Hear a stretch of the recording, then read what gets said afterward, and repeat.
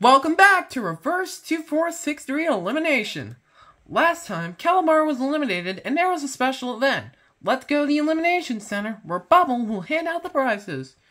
Hello everyone, welcome back. I'm Bubble and I will be your prize hunter for this episode. Now, let's start with the prize votes. Everyone except Muffin, Muck, Sirius Samus, Captain Toad, Adela Chang, and Jesse didn't get any prize votes. Muffin, Sirius Samus, and Jesse didn't get any pro only got one vote. Adelaide Chang got two votes.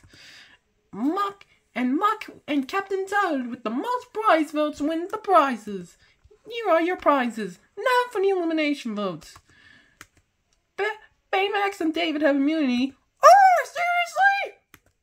Everyone except, Superman, Homestar Runner, Hiccup, and Bubble Witch are safe at zero votes. Superman and Bubble Witch are safe even at one vote each.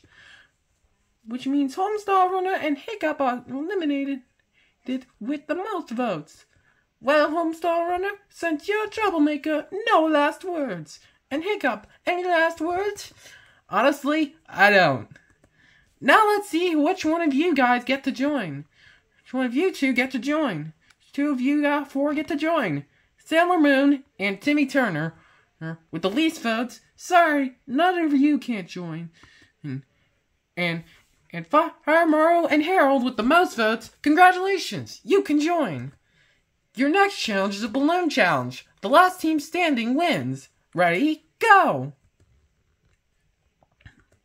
The Supermen are up for elimination. Vote for one of these fellows to be eliminated and for one to win the prize. And vote for one of these fellows to hand out the prizes.